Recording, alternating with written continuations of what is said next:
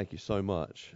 She struggled with the assurance of her salvation to the extent. Now I'm a long suffering, but I'll just be honest. She got on my nerves there at one point. I was thinking, goodness, it is not that hard, girl.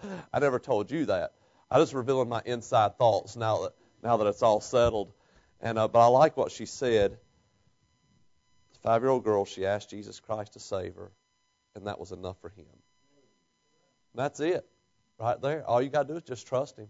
And I mean, it's that simple. And that's why we make it so hard. Because we think, well, there's got to be more to it than that.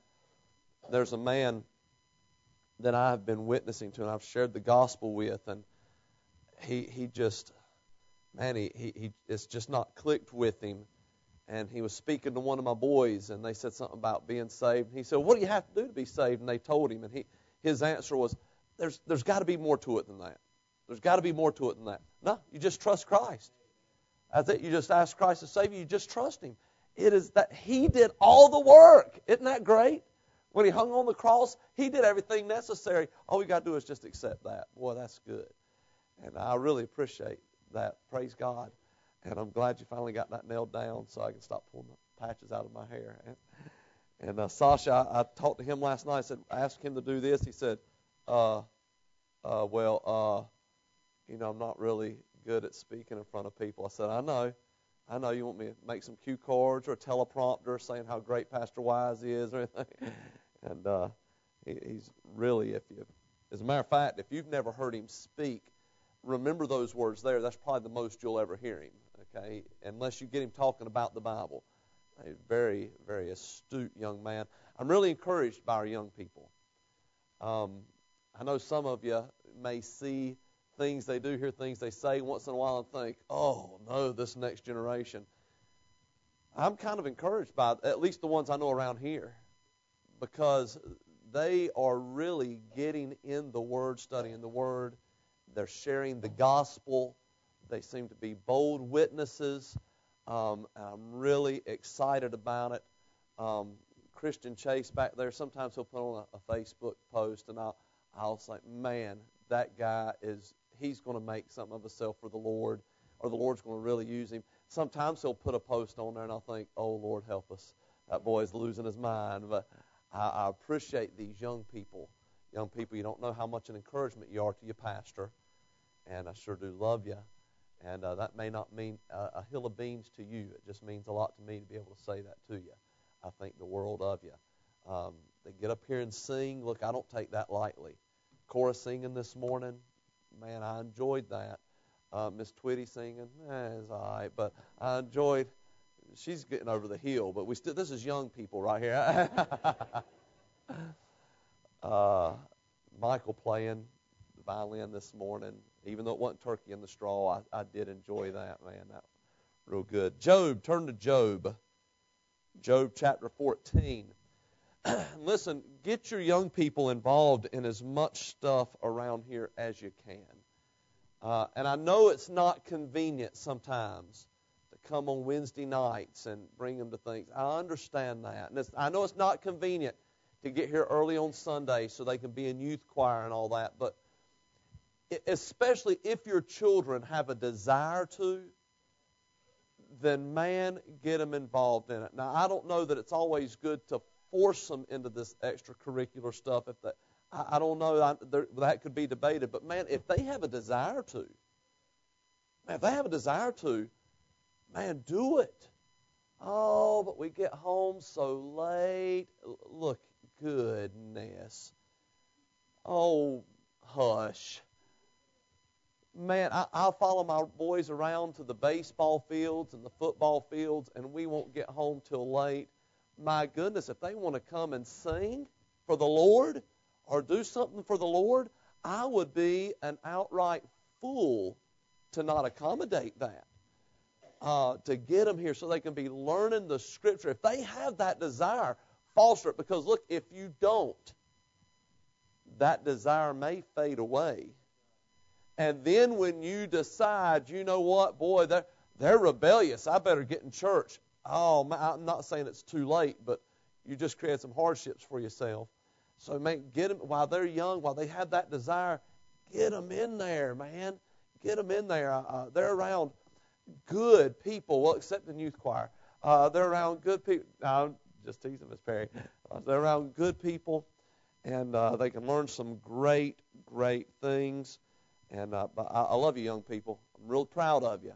All right, and I hope you keep on serving the Lord. If you don't, uh, I'm gonna throw some elbows on you. All right, Job chapter 14. Let's all stand for just a minute, please. We're just going to read three verses here. You won't have to stand long. Job chapter 14. The Bible says, For there is hope of a tree if it be cut down, that it will sprout again, and that the tender branch thereof will not cease. Though the root thereof wax old in the earth, and the stock thereof die in the ground, yet through the scent of water it will bud and bring forth boughs like a plant. Let's pray. Father, would you please draw us close to you, give us open hearts, open minds to accept your word, to apply it, to live it. Lord, encourage us, rebuke us. Each of us may have a different need. So, Holy Spirit, I cannot meet the needs, only you can do that. And we ask you to meet our needs. Draw us close to you. In Jesus' name, amen. Amen. Anybody ever uh, cut down a tree only to have that tree start growing again? Anybody ever done that? Boy, that just some, that makes me mad. Uh, somebody asked this, this little tree growing out here on the corner. It's a Bradford pear, is what it is, right here on the corner of the building. And somebody said, Wow, what kind of tree is that? And I said, That's a Bradford pear. They said, When did we plant it? I said, We didn't. We didn't plant it. We pulled out all them bushes. There was a little twig left. And if I remember right, I, cut down the twig that was there. And by and by, through rain and just the process of time, now it's a tree and I'm going to cut it down again. And if I'm not careful, it'll grow again. These um, not let's see, uh, azalea bushes out front here. When we cleaned out the the, um, the bushes right out here in the front of our church building, it overgrew, and we pulled a bunch of them out and and we sprayed them with Roundup, the ones we didn't want, and we we cut them and we dug, we did all kinds of stuff to remove them. But look, that azalea that was here, when we pulled it out, Speak, Lord, for thy servant here. Okay. That always freaks me out. Not when the Lord talks to me, you know, in a cell phone. But we, by and by, there'd be a runner that we didn't get. And you pull up that, that azalea and break that off, and next you go out there a couple weeks later and you got azalea bush growing again. Think, man, I just pulled them all out. Those little runners, they, they start growing. now, Job here he, he's in kind of a down time, uh, a down moment in his life. He speaks of how that, uh, you know, a tree, you can cut it down, the roots can be old, the stock be rotted, but there's any life in it at all, just the scent of water. He didn't even say there was water. He said just the scent of water. Man, it'll start growing again. He said, Man's not like that. Man's like a stream of water. And that water you're looking at now, it passes by, it goes, you'll never see it again. And he said, That's how, that's how it is with us. Man, I, I, have had this life, I'm going to live, I'm going to die, I'll be put in the ground, nobody's even going to remember me. you can cut down a, a, a, tree trunk, and we'll see Job changes his tune here in just a minute and just a little bit.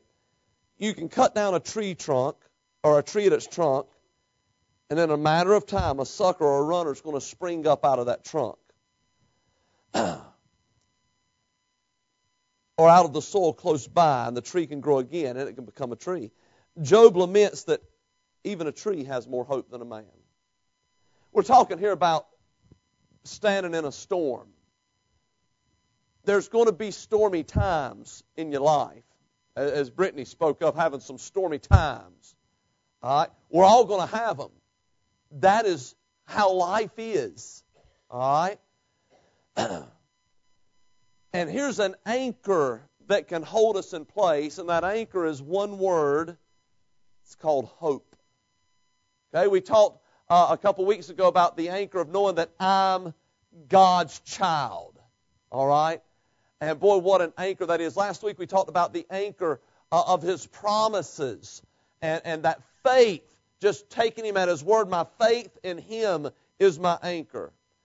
this week I want to talk to you about hope. Job laments that uh, even a tree has more hope than a man. You ever just been beat down before? Not physically, but emotionally, mentally. Just life, it's just beat you down. You're just discouraged. You're at the bottom. You, you, I mean, you're so low you have to look up to see the bottom. I mean, it's just bad. And Job's kind of at that. Yet later, Job comes to a point of rejoicing in hope that man above all others will live even after everything else has died. He says it in Job chapter 19, five chapters later, verses 25 through 27. He says, For I know that my Redeemer liveth. Boy, this is one of my favorite passages of the Bible. And that he shall stand at the latter day upon the earth, and though after my skin's worm my skin worms destroy this body, yet in my flesh shall I see God, whom I shall see for myself, and mine eyes shall behold, and not another, though my reins be consumed within me. Here we have Job back here saying, Well, man, you can cut a tree down. At least there's a little chance it's going to spring back up again. And boy, I'm just like waters. I'm just going to be here, pass on. Nobody will ever remember me. Five chapters later, Job realizes, you know what? I have more hope than a tree does. Eventually, all that's going to be burned up. But one day, I'm going to stand before my Savior. And I'm going to see him as he is, and he's going to see me, and, and I'll be there with him forever. There's another passage of Scripture that gives us hope. It's in Matthew chapter 12, verse number 20 we find Matthew here quoting from an Old Testament passage in Isaiah chapter 42, verse 3. And when speaking of the Savior, uses this passage, it says this A bruised reed shall he not break, and smoking flax shall he not quench, till he send forth judgment unto victory. The reed here mentioned is used to illustrate something that's weak and helpless. By the way, if you'll be honest, that's us. You say, no, no, I'm strong. I'm not helpless. Aside from Christ, we are. And the sooner you realize that, the better position of strength you actually put yourself in. Okay? You know, when I realize that what Christ said was true, without Him I can do nothing then I desperately cling to Him. I lean on Him. I hide myself by Him, and I rely on His strength. And His strength is far, far greater than my strength. This reed here, it's used to illustrate something that's weak and helpless. Uh, a reed, you may see if you're by the water's edge, reeds growing there at the water's edge. It's subject to the will of the winds and the waves. Wherever the wind and the water pushes the reed, that's the, that's the direction it bends. If the wind's blowing this way, that reed will bend this way. If it blows this way, it'll bend that way.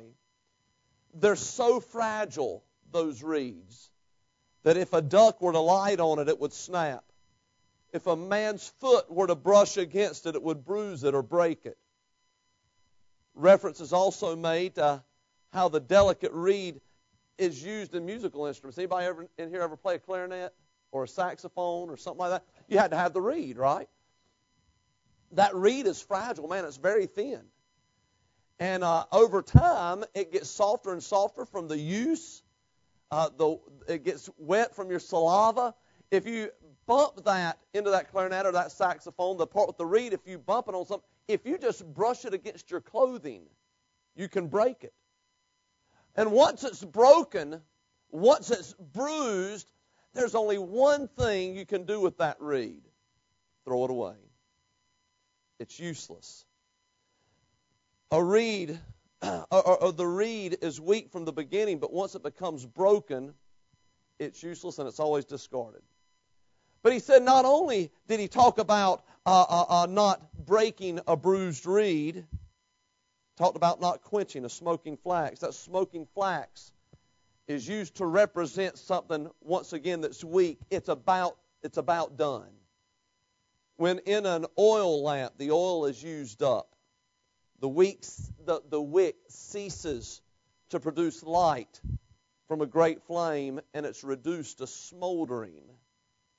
And when it's smoldering, it just has a little life left in it. There's not much.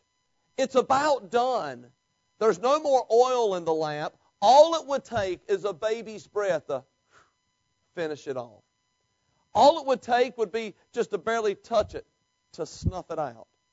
All it would take would just be a slightest breeze. But while it's smoldering, there's still a spark left in it. And here Matthew, speaking of our Savior, he quotes from Isaiah 42, 42 saying that a bruised reed, the Lord, he's not going to break a bruised reed. And that smoking flax, that wick on that oil lamp that's smoking, there's, there's no more life in it for it to draw. He said, He's not going to put that out. Let me point out some things I think that we can gather some hope from here. Number one, God does not love us based on our usefulness or our potential. He did not die on a cross on the basis of your usefulness or my usefulness, of your potential or my potential. That is not why he died on the cross. He simply died on the cross for our sins because we were sinners and that's what we needed. God, he look, he does have his Samsons in this world, don't he? I mean, he has those that, like Samson, that he fills with this spirit and Samson raises the jawbone of a donkey and kills a thousand men. Man, that's awesome, isn't it? What a powerful man. He has those men like Samson, of, with whom he, he let the spirit, his spirit come on Samson, and Samson gets up in the night and he goes to the gates of this Philistine city and tears the gates off the hinges, tears the post up out of the ground, carries those great city gates on his shoulders, and sets them on a hill far away. That's amazing. And I love reading about that stuff in the Bible. I love daydreaming about it. I love thinking it was me. You know, as a kid, when I would read comic books, I, man, I, I would interject myself into the comic book. Or when I'd watch cartoons of Spider Man, Spider Man does whatever a spider can. I, man, I'd get on the floor sometimes, maybe start crawling around. I, I, I act like Spider Man. I'd interject myself into it. I still do stuff like that. when I read the Bible, I think of Samson. I think, boy, boy, I wish the Lord would give me that strength. I bet I could come up with, with a list of a thousand people that need a jawbone taken to them. God has his Davids. David was young and small, yet he was so full of courage and so full of faith. I mean, look, he before he even killed Goliath, he's out there watching the sheep, and, and here comes a mountain lion to take the sheep. And what does David do? He kills it with his hands, not with the sling, not with the staff. Here, here comes a bear out, the Bible tells us. And what does he do? He goes out and he grabs the bear by the hair on its chin. I wouldn't even grab Tyler by the hair on his chin. And David grabs this bear by the hair on his chin and kills him with his hands. Man, that's, that's a man of courage. And now he looks out and he sees this giant, this nine feet plus, big hulk of a man with a, a, a, an experienced warrior and David says, Why don't somebody do something about that rascal? And when Saul says, Hey, come, hey, hey, come here, man, let me, let me give you my armor. Saul was head and shoulders taller than anybody else in Israel. David's a little teenage boy, and that stuff, it, I mean, it, it's just hanging off of him. He says, Look, I haven't proved those. I've never used those. I'll just use what I have. I'll use my sling, a rock, and God. And he, David, when he steps out there, the giant laughs. am I a dog? Or, or, or, am I whatever he said, that you'd send this little, yeah, a dog that you'd send this little kid to me with his little slingshot? What is this, a joke? Ha, ha, ha, ha, ha. And David said, You better watch out, man. Little teenage guy actually his older teenage, his voice probably said, You better watch out. and the Bible says that David went running towards the giant. Now, look, I would take the giant on with something that would shoot a couple hundred yards. All right? But David goes running. He's closing the distance. So God does have some men like that. But God also has his Gideons, who was fearful and of little faith.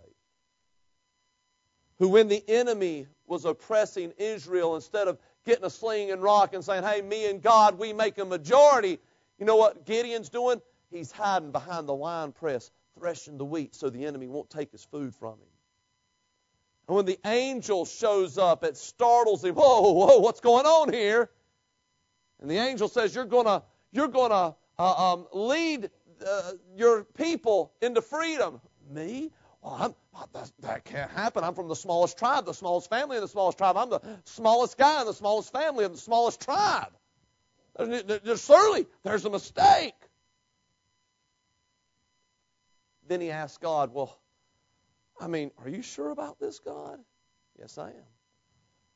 Well, I tell you what, I tell you what, then I need a sign. I need a sign, okay? And what I'm going to do, I'm going to take this fleece, I'm going to put it outside. When I get up tomorrow morning, if if the fleece is wet with the dew, but the ground is dry, then I'll know that you mean business. So he gets up the next morning, the ground is dry, he walks out to the fleece, picks it up, and he wrings it out.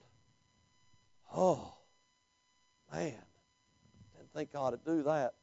Uh, all right, God, now if you're really serious, if you're really serious, then tomorrow um, I'm going to leave this fleece out again tonight and tomorrow because what probably happened, the sun dried up all that was on the ground, but not in the fleece. It absorbed so much water. So I'm going to leave it out here. It's still wet. And uh, uh, what's going to happen is if the ground is wet, but the fleece is dry, then I'll know. Don't you know the next morning he goes out there and he steps and the ground's wet this time. He's like, oh, I should have waited till the sun was out a little longer. Well, surely that fleece is still wet. And he goes and picks it up and it's dry as a bone. Really, Lord? Really? Are you sure? Are you sure you want me to do this? God has those Gideons just like he has Samson and, and David. He has his Elijahs. You know, Elijah, he did some brave things, but he was not always a brave man. When he challenged the prophets of Baal and, and to, to put a, uh, an offering on an altar and pray to their God, and the God that answered by fire would be the true God, and their God, they prayed for hours and they threw themselves on the altar, nothing happened.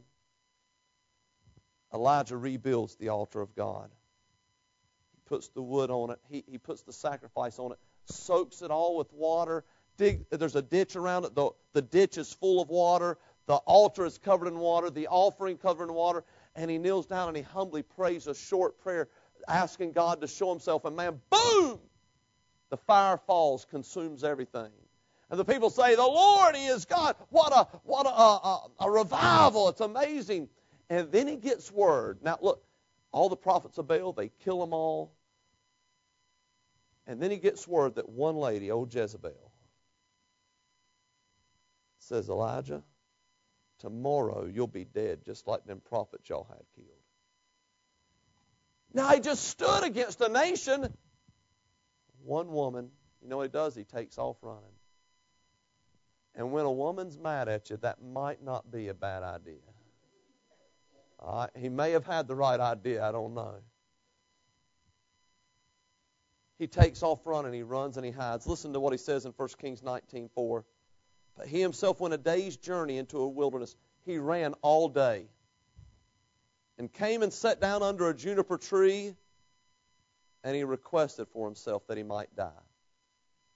And said, It is enough now, O Lord, take away my life, for I am not better than my fathers. I mean, God just used him in a great way, and now because of the threat of one lady, he runs all day into the wilderness. He finds a juniper tree, sits under it, and he said, Okay, Lord, just go ahead and kill me. Just take my life. At that point, he's a bruised reed. he's a smoking flax. That point when God first found Gideon in fear and of little faith, hiding, that moment he was a bruised reed and a smoking flax. You see, God, here, okay, first thing, God does not love me based on my usefulness or my potential. Gideon seemed to have no usefulness, no potential. In Elijah's eyes, I, he, and later in 1 Kings 19.10, he said, Lord, I'm the only one serving you, and I'm not doing any good. I'm useless. Number two, God does not see me like the world sees me or like I see myself. Do you realize that? God doesn't see you the way you see yourself. Well, I could never be used of God. Is that what God told you? That's not what His Word says. Listen to 1 Corinthians 1 26 through 28. Another favorite passage of mine. For ye see your calling, brethren, how that not many wise men after the flesh, not many mighty, not many noble are called. Now there are some wise, mighty, noble, but not many. Not many Samsons, not many Davids. But God hath chosen, well, I like this. Brother George, this is the boat we fit in right here. But God hath chosen the foolish things of this world to confound the wise. And God hath chosen the weak things of the world to confound the things which are mighty. And the base things of the world and the things which are despised hath God chosen. Yea, and things which are not to bring to naught things that are. Do you hear what he's saying right here? He says, look, God chooses some people that are worldly wise, and God chooses some noble and some mighty, but there's not many like that. There's not many Pauls in the Bible. There, there's not many Samsons. There's not many Samuels, okay? He said, I, I, most of what you'll see me picking in the Bible are the Peters, all right? And the Elijahs and the Gideons and the Baraks and, and these others that, that didn't have a whole lot of faith, that didn't have a whole lot of promise, that didn't have a whole lot of potential. in 1 Samuel 16 7, God had told Samuel, Look, Saul, he's turned his heart against me. I'm going to take away his throne from him. I'm going to give it to another. Here's what I want you to do go out here to this land, find Jesse. He has a bunch of boys out there, and one of them boys you're going to anoint him king. Samuel looks at all the sons except the youngest. Each one he looks at, he says, Man, that's a fine looking young man right there. That's broad shoulders, tall fellow, looks like an athlete, probably a good warrior. Is that the one, Lord? No, that's not it. It's not him. He goes aside. The next one steps in. Well, Lord, man, this must be, he's well spoken. I mean, this guy's an orator. He's diplomatic. I could see him being a king. Is that the one? No, that's not. The next one comes in.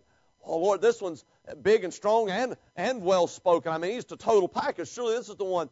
No, that's not the one goes through them twice. Says, Lord, you said it was one of. They have another son that you're not seeing. Hey Jesse, you got another son? Yeah, I got. He's just a, he's just a boy. Where's he at? He's out there keeping sheep. Run get him. Here comes old David, a ruddy complexion. Teenage boy comes in, and listen to what God says. But the Lord said unto Samuel, Look not on his countenance, this is talking about an older brother, or on the height of his stature, because I have refused him.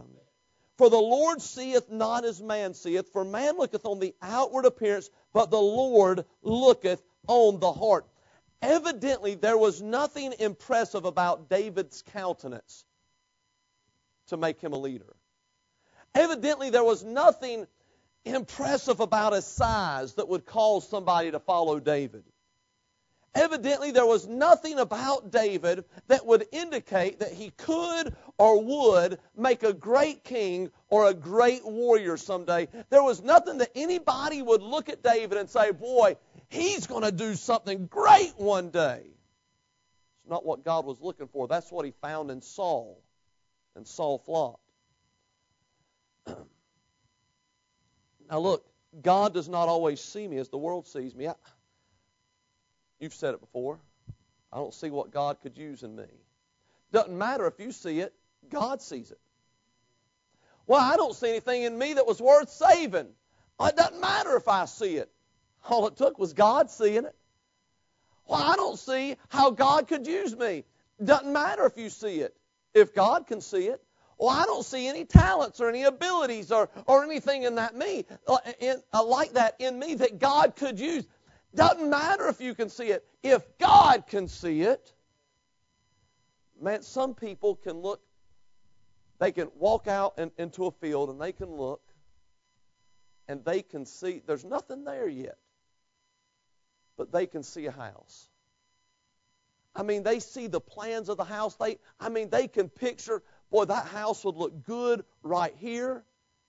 And because of the train, here's the kind of house it will be. And man, they can they can look at the wood, say, here's the wood it's going to take, and they can look at the wood and they can picture that house. I can't. I can't do it. All I can picture, if I'm to build something, is something that looks like something the Addams family would have put together. Okay? I can't build stuff. I don't even have that vision. Look, it doesn't matter if you can see it or not. The thing is, God sees it. God sees it. Where there's smoke, there's always hope of a fire. Man, our society, we look for the strong, we look for the wise, we look for the talented. America's Got Talent, or I think it was Britain's Got Talent. That, what's her name, Boyle, something Boyle? Susan Boyle that can sing so wonderfully. If you look at the clip of when they discovered her, she came out just what the world would have considered a below average appearance. It's what the world would have considered. And they walk out, and you look at the judges, and the judges are like, oh no, here we go. What do you do? I sing. What's your goal? I'd like to be the next. And she named a singer I'd never heard of. And they said, well, go ahead and sing. And son, she began to sing and it shows the judges.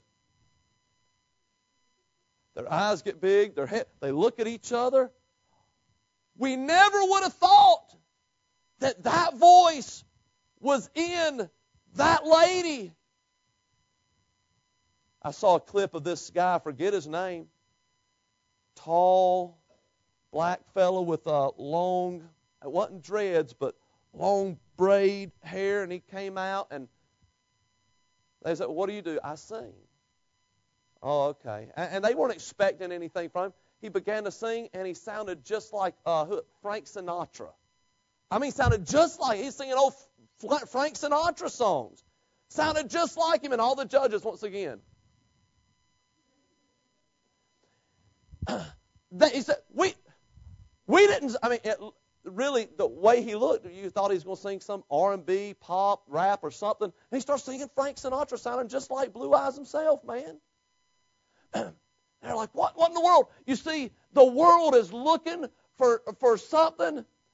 They're looking for their ideal. Their idea don't matter. Have America's Got Talent, The Voice, all these different looking for all this talent, for all this ability. Uh, uh, for all this wisdom, whatever it is they're looking for. That's not what God's looking for. See, man seeks the strong, the wise, and the able, but the Lord comes as a physician looking for the weak and the sick. Aren't you glad? See, the, the world, they look for the wise, the strong, and the able. But the Lord comes as a shepherd that would leave the 90 and 9 in order to find the one lost sheep. The world, they, they look for the strong and the wise and the able, but the Lord comes as the righteous one, looking for a hopeless sinner. He comes as an advocate, looking for the guilty. He comes as a friend that sticketh closer than a brother, looking for the outcast and the despised. He comes as the king, looking for those who need a minister. You remember in the Bible the lame man by the pool of Bethesda? He had been lame for 38 years. Laying by the pool, the Bible said that the, once a year and I don't understand how it worked, but it said once a year an angel would come and trouble the water, and the first person with an ailment that got into that water would be healed.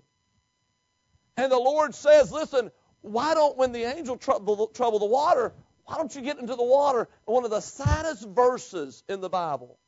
This man had been there 38 years, and he said, Lord, I have no man. He said, I have, I'm lame. When I see the water trouble and I'm pulling myself trying to get there, somebody that can walk beats me in the water. I have nobody that cares enough to sit with me here, to pull me and throw me in the water. I have no man. Jesus said, Well, would you be made whole? That's a silly question. Of course I would, but I have nobody that'll help me into the water. And then Jesus gives these, uh, these words right here rise, take up thy bed, and walk. You know, in our human understanding, we, it seems like Jesus, when he came, he would have gone to the head of Rome. It seems like he would have gone to the religious elite, but he didn't. You find him sitting and taking company with sinners and publicans. You find him taking company with those who were weak, those who were defiled, those who were insignificant in the sight of this world. You ever get to feeling that way? You remember the story of the lady that had the issue of blood for 12 years? For 12 years, she would have been considered unclean. For 12 years, she would have been apart from her family. For 12 years, society would have looked at her as someone defiled. For 12 years, she would not have been able to touch her husband or her children. But Jesus cared. Remember the man who had been blind since his birth? Hey, since birth he was not able to see. And everybody in society would have thought there's no hope for him. He'll never see. Till Jesus came along.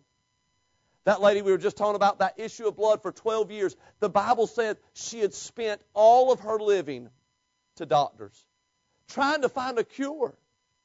I mean, she had done everything imaginable to find a cure, and she couldn't find a cure. And no doubt she thought, it's helpless, it's hopeless. I'll never be healed. I'll always be separated from society. No doubt her family or friends said, it's hopeless. There's nothing more we can do. Oh, but Jesus said, no, no, that's a smoking flax right there. I'm going to stir a fire again. Just when we think we're at our end, a lot of times Jesus is just at his beginning.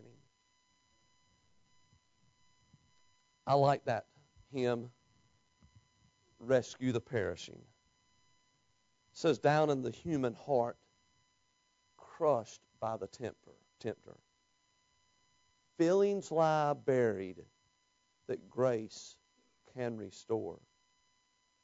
Touched by a loving heart, wakened by kindness, cords that were broken will vibrate once more.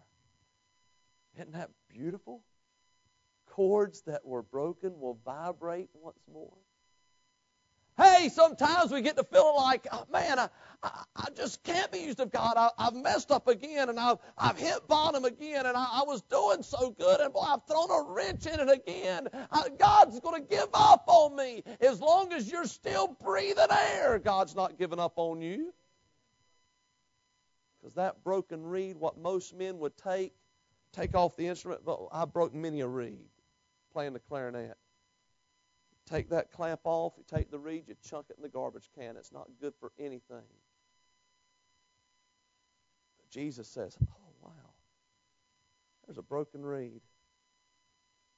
I think I can use it to make some wonderful music. That smoking flax, most men would have said, That'll never be a fire again. You say, boy, I've, I've gotten to the bottom. I thought I was at, I hit bottom before and I bounced up. Now I've hit bottom again. And man will t- tend to discard us sometimes. Even close friends will sometimes be tempted to shun us and just abandon us. Even family sometimes it seems like. Oh, but not our Lord. You see, there's an anchor of hope that as long as I have have wind in my lungs and as long as my heart beats within my chest, God is not done with me. Peter, think of Peter in the Bible. Man, that guy was always messing up, wasn't he? I love reading about Peter. It gives me hope. He told Jesus, hey, listen, these all, all the rest of these rascals, they may leave you, but I, hey, I'll stick with you unto death. Said, Peter, before that rooster crows, you're gonna you're gonna deny me three times. No, never, Lord. I'm with you all the way. Never. Yet he denied him three times. Listen to what it says, Matthew 26, 75. And Peter remembered the word of Jesus, which uh, uh, the word of Jesus, which said to him, "Before the cock crow, thou shalt deny me thrice." And he went out and wept bitterly. When he denied that third time, he looks inside. He sees Jesus. They, their eyes meet. And he realizes what he had done. He goes out and he weeps bitterly. Can you imagine the, the guilt? I just denied my Savior. Can you imagine the feelings of failure? Yet listen in Acts 1:15. I mean, hey, at this point, Peter's just a broken reed. At this point, he's just a smoking flax. There's, there's hardly any fire left in him. There's, he's useless. But in 115, we see this, and in those days, Peter stood up. This is 50 days after the crucifixion. In those days, Peter stood up in the midst of the disciples and said, the number of the names together were about 120. Here we see, here we see Peter, after he had denied Christ, he stands up and he proclaims the one boldly that he had denied earlier. How about Samson as an example? Samson had done all these great feats of strength, these great things God had done for him, got done through him. They shave his head. They gouge his eyes out of his head. Now he's down grinding meal. He's pushing on that, that wheel and it's turning and grinding wheel, his, uh, grinding meal. His eyes are out. He's blind. His head has been shaved. He no longer has that strength. But I love what Judges 16:22 says. You picture him now down there. He's thinking, boy, what an idiot, what a fool I was. And he's pushing on that that uh, handle coming out from that grinding wheel. He's pushing on it, and that thing's grinding. He's blind and, and he's weak. The Bible says this Howbeit, the hair of his head began to grow again after it was shaven. He said, Samson, I'm not done with you yet. Samson, I'm going to use you again. Samson, I'm not discarding you. Samson, I'm not kicking you to the side. Samson, I'm not done. There's still some smoke. That means there's some fire. Can I tell you something? God will not discard you. Now, we may render ourselves to a point where He couldn't use us the way He initially wanted to, but He'll never just throw you away. I believe, look, I don't know what you've gone through in here. I don't know where you're at in your spiritual walk or where you're at in life in general. Maybe you've made some stupid decisions. Maybe you've done some stupid things. Maybe you've backslidden. I don't know. But I'm here to tell you this morning that in the midst of that storm, you have an anchor, and that anchor is found in the hope that we have in our Lord and Savior, Jesus Christ. If I'm breathing, then God must not be done with me. Therefore, I must yield myself to Him so that He can perfect His work in me. Hey, hang on. God's not done with you yet. Bow your head and close your eyes, please.